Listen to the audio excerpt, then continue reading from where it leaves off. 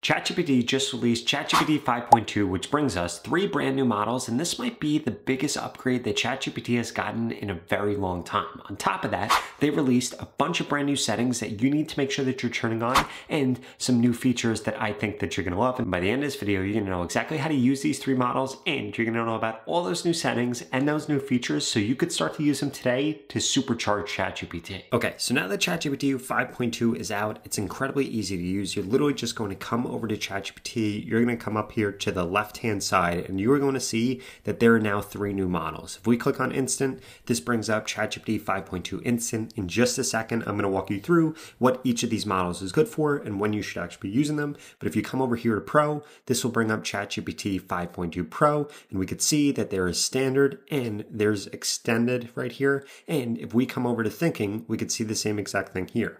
We have light, standard, extended, and heavy. Now, in terms of what each of these actually do, I want to walk you through this. The first one I want to walk you through is going to be GPT 5.2 thinking because this raises the bar for professional work. And this is really the biggest upgrade to ChatGPT 5.2 right now. So this has state of the art long context reasoning. So it can take in way more information like PDFs, CSVs, and you won't run into the issue that you had with ChatGPT 5 or ChatGPT 5.1, where it started to hallucinate. It has major improvements in spreadsheet creation, analysis, and formatting, and there are early gains in its ability to create presentations and slideshows. Now, to show this off for you, I wanted to come over here. I wanted to turn on ChatGPT 5.2 thinking. We're going to go with just standard, and we're going to ask it to do this create a workforce planning model that shows headcount, hiring plans, attrition, and budget impact, and include engineering, marketing, legal, and sales departments. Now, what this is going to do is this is going to run off and this is going to create this. And as we could see,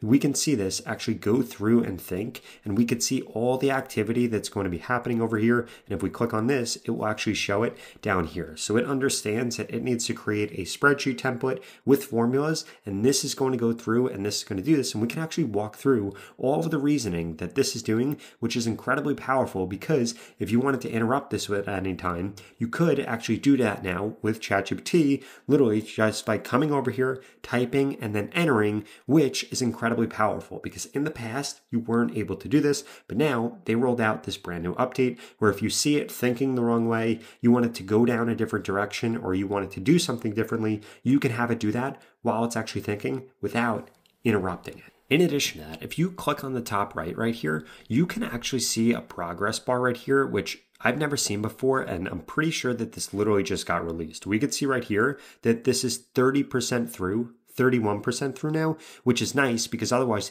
you kind of have no idea where it actually is here unless you know what type of progress it actually has. And now it reveals it here, which is great. I do wish though that they revealed it down here so that it was a little more obvious when this would be done. Okay, so now this is actually done here and we could see exactly what this looks like. So we could see what's inside, all the inputs, we could see everything that's in there, the summary, the charts, we could see how to use it. And this right here is pretty awesome. So we could come over here and we could see that this built out this pretty advanced spreadsheet right here with all of these different graphs, all of these different tables, everything in here very easily. And guess what? If we wanted to, we come over here and we could adjust things. We could download this. And this right here is pretty awesome because in the past, ChatGPT struggled with this. You would typically go to a model like Claude in order to do stuff like this, but now ChatGPT can handle it. Now, the next model that we need to focus on is going to be GPT 5.2 Instant. And as you guys know, this is built for everyday work and for learning. So it's as warm and conversational as GPT 5.1. It gives you clear explanations that surface key information up front instead of you having to dig for it or you having to ask multiple questions in order to get something. It does improve with how to's and walkthroughs, which is really good. It's a lot stronger with technical writing and with translations, and it has way better support for studying and career guidance. So basically, this is just a lot better at helping you with things. So if we come over here and open up ChatGPT, we could go ahead and come over here and turn on instant and ask it something like based on everything that you know about me. How should I advance my career. And then what this is going to do is this is going to go through all the chats that I've had with it, all the memory that it has, and it gives me some pretty good advice here. So your actual advantage isn't what most people think. You're not just a YouTuber. You're not just an AI tools guy. You're not just a consultant. You have an unfair advantage with distribution, translational skill, speed, and taste. So then this goes through and it gives me the core problem that's holding me back, which is that I am too monetized at the edge and not enough at the center. So it says that I have a lot of sponsorships, a lot of one-off mentorships, a lot of low ticket programs, a lot of experiment. They're all good, but none of them are actually defensible. So this goes through and gives me a three layer career stack that I should build. And this is quite incredible. I mean, look at how good this is. It's direct. It's not droning on. It is is just point, point, point, and this is going through and actually giving me some really good advice right here, which I really like. In addition to that, if we come over here, you're going to see GPT 5.2 Pro. This is the smartest, most trustworthy model for difficult questions. This is really good if you're doing programming and if you're doing something like science, you're going to want to use this model. And then finally, I have some other notes about the API and different settings. So a few things that I want you to note. One, this is the API pricing right here. Take a screenshot of this if you want to look at it or if you want to compare it to the other pricing models. You could just go to openai.com slash API and you'll see it all right there. All three models have an August 2025 knowledge cutoff and GPT-5.1 is going to remain available to ChatGPT paid users for three months before it sunsets and the API models have no current depreciation plans right now. Now, before I get into those settings that you need to make sure that you're turning on with ChatGPT and the new features that you need to make sure that you're using, I wanted to show you how you could hook ChatGPT up to more than 8,000 apps for free. Now, here's exactly how you could go through and do that. You're going to come to mcp.zapier.com or you could go to the pin comment below. I send you directly to this link. You're going to come over here. You're going to click on new MCP server. You're then going to click on ChatGPT and you can name this. So I'm going to name this Zapier ChatGPT MCP server and I'm going to put Rob, the AI guy, just so that I know for my records what this actually is. Now, from here, we could go through and actually connect this to more than 8,000 different tools. So we could come over here, for example, all the time I use Skool. So I'm going to come over here. I'm going to select all of these different tools right here. We're going to go through and we are going to connect this by just clicking on connect and then this will let me connect it. In addition to that, we could come over here and connect it to a bunch of other tools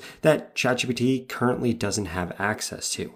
For example, I use Facebook ads all the time. We could come over here and we can see that we can now add all of this. Or we could add in tools like Metricool if we wanted to be able to schedule things out. And you could actually go through for each of these and see all of the different actions that these can now take when it's hooked up to ChatGPT. Now, what you're going to do from here is you're going to come over here into Connect, and this is going to walk you through exactly how to do this. Essentially, you just come over to ChatGPT, you click on the bottom left hand side right here, you click on Settings, Apps and Connectors. We're going to come all the way down to Advanced Settings. We're then going to turn on Developer Mode, and then from here, we're going to click click on Create App we're going to come over here and we're going to name this Zapier. We're going to put Zapier in here. We come back over here. I'm not going to show my MCP code, but this will give you the MCP code. And then you just come back over here and you put this in here. Okay, so now we can actually see that this is set up here. And then we could scroll down here and we could see what it actually has access to. So we could see right here that I have given this access to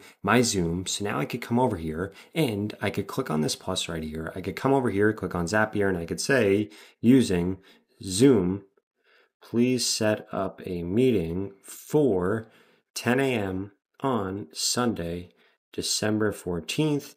Name it a group call, 10 a.m. December 14th. Now, what this allows me to do is access more than 8,000 different apps and take action in more than 8,000 different apps from ChatGPT. And we could see it actually coming over here and calling this tool. And now we could click on create meeting and this goes off and this actually does this, which is great because now ChatGPT connects to way more apps and is way more powerful. Now we can see just like that, this went through, this actually created this. And if this was hooked up to my Gmail or my Outlook, I can now send off an email email to whoever I need to, like my entire list. In fact, I could actually come back over to Zapier here, come over here, come over to Kit, which is the email platform that I use that has all my subscribers on here. And guess what? I can actually get this to select all these tools. I can hook this up to Kit. I can hook it up to my email and I can have schedule out an email blast to go out to thousands of people from ChatGPT with the link to this weekend's call. And the best part about Zapier MCP is that you could go to the pin comment below and get started with it today for free.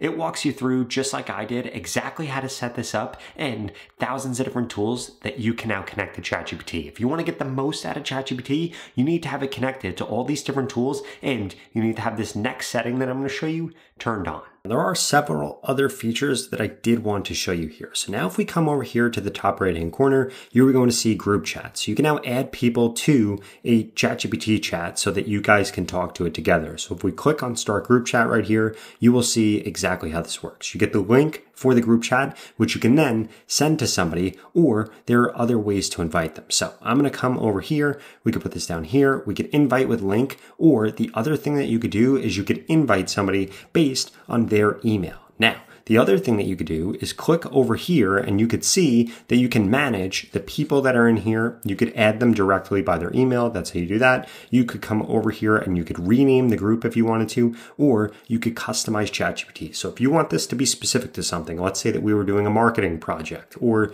you were doing an operations project, or you're doing an HR project, or coding, whatever the case is, you could give it all the instructions here and it gives you 1500 characters, which is quite a bit. In addition to that, you can also get ChatGPT to respond automatically or not. So if I click on save right here, we could see, hey, and we could see that it doesn't actually respond. So what this will actually do is allow multiple people to chat, multiple people to give their context, multiple people to be able to do things. And then you can tell ChatGPT at ChatGPT, and then it will actually reference all the chats that are in there, which is pretty powerful. In addition to that, if we come over here and we click on settings, there are now a bunch of new settings that you want to make sure are turned on. For example, separate voice mode right here. This is brand new. So this allows you to keep ChatGPT voice in a separate full screen without real-time transcripts and visuals. So if we click on this right here, what this does is actually changes ChatGPT. So now if we click on this, this actually pops ChatGPT out into its own voice mode right here, as opposed to it being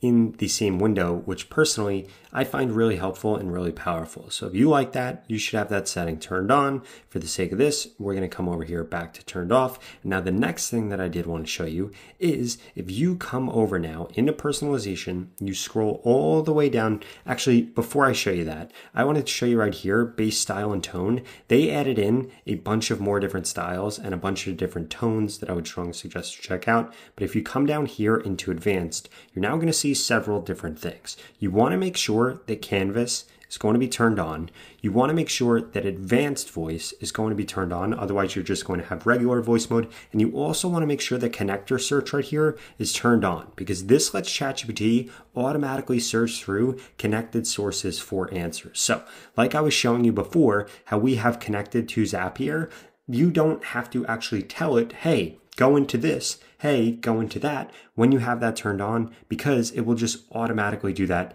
at its own desire. In addition to that, if we come over here, we could see that ChatGPT now gives you access to more apps. But as we can see right here, we have three, there's about 10 rows here. So there's about 30 apps that you're able to connect this to. And if you come down here to connectors, we could see that there are about 30 of these here too. But like I was sharing with you earlier, if you really want to supercharge this and take this beyond just the basic things that ChatGPT lets you connect to in terms of connectors and in terms of apps, you want to make sure that you hook up Zapier to this. And again, you could get started with that today for free. Now, the next thing that I did want to call out here, if we come under security, ChatGPT just rolled out text message to get SMS or WhatsApp Basically, this is two factor authentication. I would strongly suggest you have this turned on and you have the Authenticator app turned on because you want to be able to make sure that people aren't able to get into your ChatGPT that aren't you, especially if you're telling ChatGPT a lot of stuff that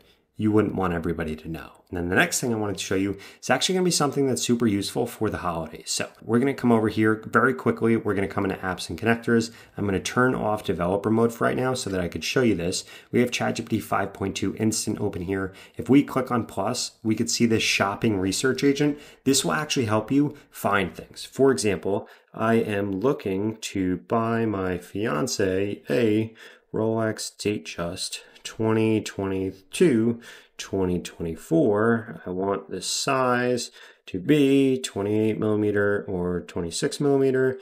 Please find me good watches that are in brand new condition. Now, what this is going to do, and this is pretty cool here, it can help you find anything. It doesn't have to be a Rolex, doesn't have to be a car. It could be something small like toilet paper. This actually starts this. So if we come over here, preferred dial color, I'm to put mother of pearl. We're to click on continue. Bracelet style, we're to click on oyster. Bezel, I'm to do fluted budget, I am going to do up to $12,000. And then this is going to go through and this is actually going to gather a bunch of options for us to review. Now, the reason that I chose Rolex here is because I wanted to see how specific the questions that it gave us would be to a Rolex. And if you asked it about a car, or if you asked it about toilet paper, or if you asked it about water, or a microphone, or a camera, or something like that, it would give you a bunch of different options. And then we can see what this does is now goes through, and this is going to do research on our behalf and find things for sale. So we actually have to go through. I do not like that. What don't I like about it? I don't like the style of it. This, I do like this. And then this goes through and it says, great, your final picks are going to be ready soon. And this is basically like your own stylist or shopper, but the AI version, which is incredibly powerful. And you could help this find you things that are in a certain price range. You could have this find you things that are discounted. The opportunities here are really endless. This is like your own AI agent that goes and scours the internet for the things that you want. Okay, so now we can see that this actually went through and this gives me a bunch of different things. Says why this is the best buy right here, meets constraints, gives us a bunch of things, gives us different trade-offs to note here. And then we have a bunch of different comparison tables right here. Now, this is incredibly powerful because otherwise I would have had to go through and kind of source these things and figure them out myself. But we could see here that we have this right here we have this option. If we come down here, we have another option.